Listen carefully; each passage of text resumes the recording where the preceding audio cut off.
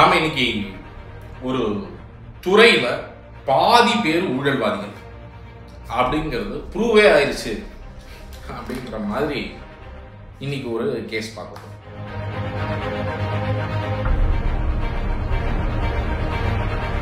இந்த ஊழலை சிம்பிளாக எக்ஸ்பிளைன் பண்ணணும்னா ரெண்டாயிரத்தி பதினாலு பதினஞ்சு பதினஞ்சு பதினாறு இந்த ரெண்டு வருஷத்தில் கிட்டத்தட்ட ஆறாயிரம் கோடி ரூபாய்க்கு தார் ரோடு போடுறதுக்கான ஒப்பந்தம்.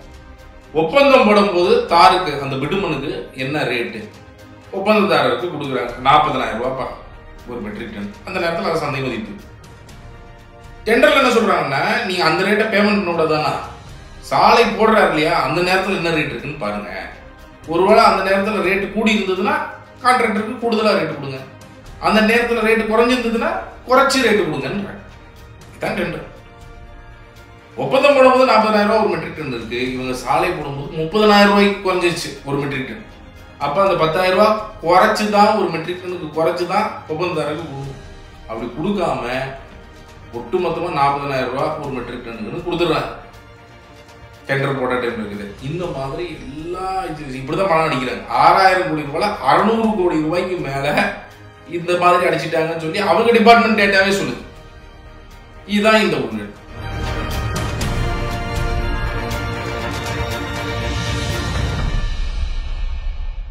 மாநில நெடுஞ்சாலைத்துறையில் கிட்டத்தட்ட ரெண்டாயிரத்தி பதினாலுலேருந்து பதினாறு வரை அதிமுக ஆட்சியில் பிட்டுமன் அந்த தார் ரோடு போடுறாங்க இல்லையா அந்த பிட்டுமனில் ஒரு மிகப்பெரிய ஊழலை செஞ்சுருக்கிறாங்க. அந்த ஊழலை பண்ணிட்டு இனிங்க வந்து என்ன கண்டுபிடிச்சிருக்கிறாங்கன்னா அந்த ஊழல் அந்த துறையிலேயே ஆயிரத்தி எண்ணூற்றம்பது பேர் தான் இன்ஜினியர்ஸ் இருப்பாங்கன்னு நினைக்கிறேன். கிட்டத்தட்ட ஆயிரத்தி நூற்றி முப்பது பேர் இதில் இன்வால்வ்டுன்னு கண்டுபிடிச்சிருக்காங்க அந்த அளவுக்கு ஒரு முறைகேடு ஊழல் முறைகேடு இங்கே நடக்குது. நீங்க கொஞ்சம் வருஷம் முன்னாடி பார்த்துருப்பீங்க. ஆயிரம் கோடி ரூபாய் விட்டுமன் ஊழல் அப்படின்னு சொல்லி பேப்பர்ல பார்த்துருப்பீங்க. ஒரு ஒருவர் வந்து பாலாஜி அப்படிங்கிற நபர் வந்து ஹைகோர்ட்ல போய் கேஸ் போட்டிருந்தாரு. அந்த கேஸ் என்ன ஆச்சு அப்படின்னு நீங்களாம் யோசிக்கலாம். அந்த கேஸ் இன்னி வரைக்கும் நடந்துட்டு இருக்கு ஆனா இந்த வழக்குல என்ன சுவாரஸ்யமான விஷயங்கள் எப்படியெல்லாம் இதை வந்து காலி பண்ணுறதுக்கான வேலைகள்லாம் செஞ்சுருக்கிறாங்க அப்படிங்கிறது தான் நம்ம இந்த வீடியோவில் பார்க்க போகிறோம் ஏன்னா ஏன் இந்த நேரத்தில் பார்க்க வேண்டிய அவசியம் இருக்குன்னா இந்த முறைகேடுகளில் ஈடுபட்ட பல இன்ஜினியர்களில் நம்ம அமைச்சர் இவி வேலு அவருடைய பிஏ இருக்கிறார் இல்லையா? ஜெயசேகர்னு. அவர் வர ஆகஸ்ட் முப்பத்தி ஒன்று ரிட்டையர் ஆக இருக்கிறார்.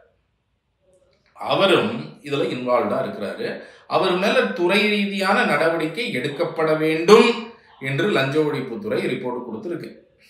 கிட்டத்தட்ட ஆயிரத்தி நூற்றி முப்பது பேர் மேலே எடுக்கணும்னு கொடுத்தாச்சு. அதில் அவரும் இருக்கிறார் ஏன்னா அவர் தான் திருவண்ணாமலை டிவிஷனில் அப்போ டிவிஷனல் இன்ஜினியர் இந்த ஊழல் நடந்தபோது. பல இன்னைக்கு சீஃப் இன்ஜினியராக இருக்கக்கூடியவங்கலாம் chief engineer construction and maintenance சந்திரசேகர்னு இருக்கிறாரு. அவர் அப்போ நாமக்கல் டிவிஷனில் இருக்கிறாரு. அவரும் அதில் இன்வால்வாக இருக்கிறாரு. சாந்தின்னு இப்போ டைரக்டர் ஜெனரலாக இருக்கிறாங்க.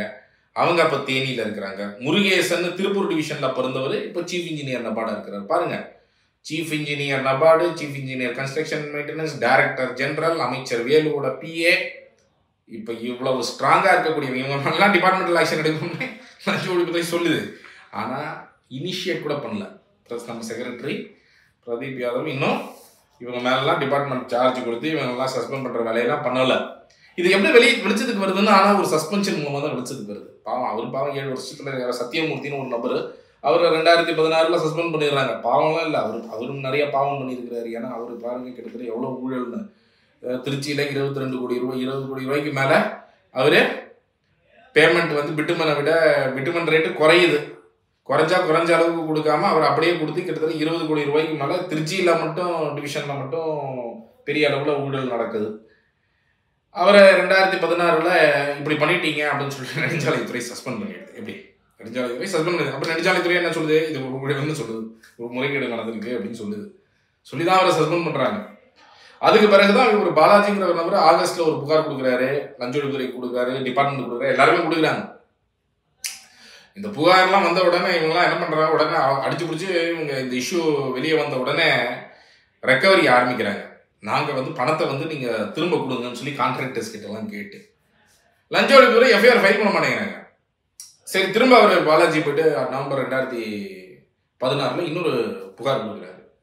எஃப்ஐஆர் ஃபைல் பண்ணுங்கப்பா அப்பயும் பண்ண மாட்டேறாங்க அப்புறம் கோர்ட்டுக்கு போகிறாங்க கோர்ட்டுக்கு போய் டைரக்ஷன் வாங்கி தான் கோர்ட்டில் வந்து நீங்கள் லஞ்ச ஒழிப்புத்துறை பதில் சொல்லணுமேங்கிறதுக்காக நாளைக்கு கோர்ட்டுனா இன்னைக்கு வந்து லஞ்ச ஒழிப்புத்துறை எஃப்ஐஆர் ஃபைல் பண்ணுறாங்க nineteen six two thousand seventeen அன்னைக்கு. ஸோ இந்த இடைப்பட்ட காலத்தில் என்ன பண்ணுறாங்கன்னா டிபார்ட்மெண்ட் வந்து இது இஷ்யூ ஆக போகுது அப்படின்றது ரெக்கவரி ஆரம்பிச்சிடுறாங்க. இப்போ இந்த ரெக்கவரி எங்கே கேள்விப்பட்டிருப்பீங்க? நீங்கள் ஏற்கனவே ஒரு வழக்கில் கேள்விப்பட்டிருக்கீங்களா? ஜாப் ஸ்கேம் ஒன்று வந்தது. மக்கள்லாம் பணம் கொடுத்தாங்க வேலைக்கு. வேலைக்கு பணம் கொடுத்தோன்னா சரி இதை விஷயம் வெளியே வந்துருச்சு. நாளைக்கு கேஸ் ஆகுதுன்னொன்னே பணத்தை நாங்கள் திரும்ப கொடுத்துட்டோம் அவங்க கிட்ட அதனால இது ஊழல் இல்லைன்னு சொல்லிட்டு கேஸையே க்ளோஸ் பண்ணதெல்லாம் ஞாபகம் இருக்கும். பட் அது அதுக்கப்புறம் சுப்ரீம் கோர்ட் இதை ரீஓபன் பண்ணி இன்னைக்கு அந்த அமைச்சரே ஜெயிலுக்குள்ளே இருக்கிறதெல்லாம் நம்ம எல்லாருக்கும் தெரியும். அமைச்சர் செந்தில் பாலாஜி இருக்கிறதுலாம் இப்போ இந்த வழக்கில் என்ன ஆகுதுன்னா இந்த இன்ஜினியரும் இந்த கான்ட்ராக்டர்ஸும் சேர்ந்து இந்த பண்ணுற இந்த ஊழலில் ரொம்ப முக்கியமான கேள்வி என்னன்னா சரி அப்போ நீங்கள் பணத்தை திரும்ப வாங்கிட்டீங்கன்னா நீங்கள் பண்ணது முறைகேடு இல்லைன்னு ஆயிருமா? இல்லையா? அப்போ லஞ்ச ஒழிப்புத்துறை என்ன பண்ணுது? சரி வேற வழி இல்லாமல் ஒரு கேஸ் ஃபைல் பண்ணுறாங்க ஆனால் கேஸ் ஃபைல் பண்ணும்போது கம்ப்ளைண்ட் கொடுத்தது எல்லா மாவட்டத்துலையும் இது நடந்திருக்கு அப்படின்னு சொல்லிட்டு. ஆனால் சத்தியமூர்த்திங்கிற ஒரு நபர் அந்த திருச்சியில் வந்து ரெண்டாயிரத்தி பதினாறில் இதுக்காக சஸ்பெண்ட் பண்ணப்பட்டார் அப்படிங்கிறதுனால அவர் ப்ளஸ் திருச்சியில் டிவிஷனில் இருக்கிறவங்க ஒரு பதினாறு பேர் மேலே மட்டும் இந்த எஃப்ஐஆரை லஞ்ச ஒழிப்புத்துறை போடுறாங்க. மிச்சவங்க மேலாம் நாங்கள் டீட்டெயில் என்கொயரி தான் பண்ணுவோம்னு சொல்லிட்டு மிச்சவங்க மேலாம் டீட்டெயில் என்கொயரி பண்ணிட்டு இவங்க என்ன பண்ணுறாங்க லஞ்ச ஒழிப்புத்துறை அப்படியே எல்லாம் ரெக்கவரி பண்ணுற வரைக்கும் வெயிட் பண்ணிட்டு அறுநூத்தி பத்து கோடி ரூபா ரெக்கவரி முடிஞ்சவங்க பிறகு அறுநூத்தி பத்து கோடி ரூபா ரெக்கவரி பண்ணியிருக்காங்க யோசிச்சு பாருங்க அறுநூறு ஆறாயிரம் கோடி தான் மொத்த திட்டமே ரெண்டு வருஷத்துக்கு. அதுல பத்து பர்சன்ட் பிட்டுமண்ல மட்டும் பண்ண ஊழல். பிட்டுமண்ணில் வெறும் விலை இறங்கினது மூலமா மட்டும். பண்ண ஊழல் அறுநூத்தி பத்து கோடி இருப்பாங்க. எந்த அளவுக்கு இவங்கெல்லாம் வந்து நம்மளுடைய வரி பணத்தை சாப்பிட்றாங்க அப்படிங்கிறத யோசிச்சு இப்போ கொஸ்டின் என்னன்னா இந்த ரெக்கவரி பண்ணிட்டாங்க அப்படிங்கிறதுனால இதில் அஃபன்ஸ் இல்லைன்னு ஆயிருமா? லஞ்ச ஒழிப்புத்துறை என்ன பண்ணியிருக்கிறாங்க? படத்தெல்லாம் ரெக்கவர் பண்ணியாச்சு. இதை நாங்கள் கோர்ட்டில் ப்ரூவ் பண்ணுறது கஷ்டம். ஏன்னா பணத்தெல்லாம் ரெக்கவர் பண்ணதுனால இந்த மாதிரி இவங்க ஊழல் பண்ணிட்டாங்க நாங்கள் ப்ரூவ் பண்ணுறது கஷ்டம். வயலேஷன் பண்ணியிருக்கிறாங்க. இவங்க வந்து விலை குறைச்சி தான் ஒப்ப ஒப்பந்தத்திலேயே போட்டிருக்கு. விலை பிட்டுமன் விலை குறைஞ்சதுன்னா அதுக்கு ஏற்ற மாதிரி விலை குறைச்சி தான் பேமெண்ட் பண்ணணும்னு சொல்லியிருக்கு. இவங்க விதிகிற மீறி தான் பண்ணியிருக்கிறாங்க. ஆனால் நாங்கள் வேறு வழி இல்லை. நாங்கள் டிசிப்ளினரி ப்ரொசீடிங்க்கு தான் நாங்கள் ரெக்கமெண்ட் பண்ண போகிறோம் கிரிமினல் ஆக்ஷன் எடுக்க போகிறோம்னு சொல்லி ஒரு டிசிப்ளினரி ப்ரொசீடிங் ட்ரிபியூனலுக்கு அனுப்புகிறோம்னு அனுப்புகிறாங்க அது மா- மாநில அரசுக்கு கீழே டிசிப்ளினரி ப்ரொசீடிங்ஸ் ஒன்று இருக்குது ஸோ அந்த ட்ரிபியூனலுக்கு அனுப்புகிறாங்க அந்த ட்ரிபியூனல் என்ன பண்ணுது இல்லை இல்லை இது பணத்தெல்லாம் ரெக்கவர் பண்ணிட்டாங்கல்ல. நேராக டிபார்ட்மெண்டல் ஆக்ஷனே எடுத்துக்கோங்கன்னு சொல்லி அவங்க அனுப்புகிறாங்க ஸோ இதெல்லாம் ரெண்டாயிரத்தி இது இந்த ஆட்சியில் நடக்குது. இந்த டிசிப்ளினரி ப்ரொசீடிங் வந்து அவங்க நடவடிக்கை எடுக்காமல் அவங்க டிபார்ட்மெண்ட்டுக்கு அனுப்புறதெல்லாம் இப்போ ஆட்சி மாறினதுக்கு பிறகு ரெண்டாயிரத்தி இருபத்தொன்னுக்கு பிறகு நடக்குது. இப்போ சரி டிபார்ட்மெண்டல் ஆக்ஷனுக்கு கடைசியில் டிபார்ட்மெண்டல் ஆக்ஷன் ஆயிரத்தி நூற்றி ஆறு பேர் ப்ளஸ் அந்த திருச்சி எல்லாம் சேர்த்து ஆயிரத்தி நூற்றி முப்பது பேர் மேலே எடுக்கணும்ல நீங்கள் எடுத்துட்டீங்களா? அவங்க சத்தியமூர்த்திங்கிற ஒரு சஸ்பெண்ட் ஆனாது ஏழு வருஷமாக சஸ்பென்ஷனில் இருக்காரு. இப்போ அமைச்சர் வேலுடைய பி. ஏ. ஜெயசேகருக்கும் சத்தியமூர்த்திக்கும் என்ன வித்தியாசம்? தெரியல. ஒரே தான். இது ஒரு ஊழல் இவர் வேற இவர் திருச்சியில் பண்ணார் அவர் திருவண்ணாமலையில் பண்ணார். அவங்க சாந்தி வேற ஒரு மாவட்டத்தில் பண்ணாங்க. தேனியில் பண்ணாங்க. இல்லையா? சந்திரசேகர் ஒரு மாவட்டத்தில் நாமக்கல்ல பண்ணார். முருகேசன் திருப்பூரில் பண்ணார். நல்ல வித்தியாசம். அப்போ சத்தியமூர்த்தி என்னவா இருக்கிறாரு? சஸ்பென்ஷன் இருக்கிறார். ஏழு வருஷமா. சந்திரசேகர் என்னவா இருக்கிறாரு? சீஃப் இன்ஜினியராக இருக்கிறார் சிஎம் சாந்தி என்னவா இருக்கிறாங்க? டைரக்டர் ஜெனரலாக இருக்காங்க முருகேசன் என்னவா இருக்கிறார் சீஃப் இன்ஜினியர் என்னப்பாடா இருக்கிறாங்க? ஜெயசேகர் என்னவா இருக்கிறார் அமைச்சர். இவி வேலுடைய பிஏ பிஏக்கு ஏதாவது கிரைட்டீரியா வச்சிருப்பாங்களோ? இந்த மாதிரி ஊழல் முறைகேடெல்லாம் ஈடுபட்டிருக்கணும். அப்போ தான் பிஏவாக இருக்க முடியும்னு அதாவது கிரைட்டீரியா வச்சுருப்பாங்கன்னு நினைக்கிறேன். சரி இப்போ நீங்கள் ரிட்டையர் ஆக விட போகிறீங்களா இல்லை சத்தியமூர்த்தி மேலே எடுத்த நடவடிக்கை மாதிரி இவங்க மாதிரிலாம் எடுக்கணும்ல? எடுக்கணுமா இல்லையா? அப்போ இதை எடுக்கும் வரை ஏன் எடுக்க மாட்டேங்க? இப்போ ஜெய ஜெயசேகர் முப்பத்தி ஒன்று ஆகஸ்ட் ரிட்டையர் ஆக போகிறார் ரிட்டையர் ஆக விடலாமா? நீங்கள் சஸ்பெண்ட் பண்ணணும்ல டிபார்ட்மெண்ட் சார்ஜ் கொடுக்கணும்ல சஸ்பெண்ட் பண்ணி. மிஸ்டர் பிரதீப் யாதவ் செக்ரட்டரி பதில் சொல்லணுமா இல்லையா? மிஸ்டர் இவி வேலு மினிஸ்டர் பதில் சொல்லணுமா இல்லையா?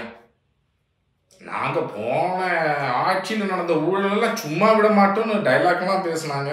என்ன ஆச்சுன்னு தெரியல அந்த டைலாக்லாம் கண்ணு முன்னாடி ஒரு நடவடிக்கை எடுங்கன்னு கொடுத்துருக்குறாங்க டிபிஎஸ்சி எனவே இந்த கேஸ் இன்னும் ஹைகோர்ட்டில் தான் இருக்குது இன்னும் ஹைகோர்ட்டில் பெண்டிங்காக இருக்குது ஹைகோர்ட்டில் தான் ஸ்டேட்டஸ் ரிப்போர்ட் இப்போ ஃபைல் பண்ணியிருக்கிறாங்க லஞ்ச ஒழிப்புறை லஞ்ச ஒழிப்புறை இது மாதிரிலாம் சொல்லிட்டு இருக்காங்க. நாங்கள் வந்து டிபார்ட்மெண்டல் ஆக்ஷனுக்கே கொடுத்துட்டோம்னு சொல்லிட்டு. இந்த மாதிரி இன்னைக்கு கடமை கிட்டத்தட்ட அறநூறு கோடி ரூபாய் ஊழல் நடந்திருக்குன்னு அப்பட்டமாக தெரிந்து கண்டுபிடித்து நல்ல விஷயம் பணத்தை அட்லீஸ்ட் ரெக்கவர் பண்ணியாச்சு. ஆனால் செஞ்சவங்க மேலே என்ன நடவடிக்கை? அவங்க தொடர்ந்து அப்போ செஞ்சுக்கிட்டே தானே இருப்பாங்க ஊழல். அடுத்தது அந்த சாந்தி அவங்கலாம் வந்து அடுத்தது நம்ம பிபிஎம்சி தஞ்சாவூர் பிபிஎம்சியில் அப்போ அவங்க வந்து சீஃப் இன்ஜினியராக வேறு இருந்தாங்க. அந்த முறைகேட்டுலாம் நடக்கும்போது. ஸோ அதனால் அக்கௌண்டபிலிட்டி ரொம்ப முக்கியமானது. ஜெயசேகரை சஸ்பெண்ட் பண்ணுங்க. மிச்சவங்க நல்லா ஆக்ஷன் எடுங்க. டிபார்ட்மெண்டல் ஆக்ஷன் உடனடியாக எடுங்க. எடுக்கும் வரை அறப்போர் தொடரும். இது தொடர்பாக நம்ம புகாரும் நம்ம செக்ரட்டரி ஹைவேஸ் காமிச்சிருக்கிறோம். உடனடியாக சீஃப் செக்ரட்டரி காமிச்சிருக்கிறோம். உடனடியாக நடவடிக்கை எடுங்கள் அறப்போர் தொடரும் திருடனாக பார்த்து எவனும் திருந்தவும் மாட்டான். நாம திமிரி எழுந்த இனி எவனும் திருடவும் மாட்டான். நாம திமிரி எழுந்த இனி எவனும் திருடவும் மாட்டான்.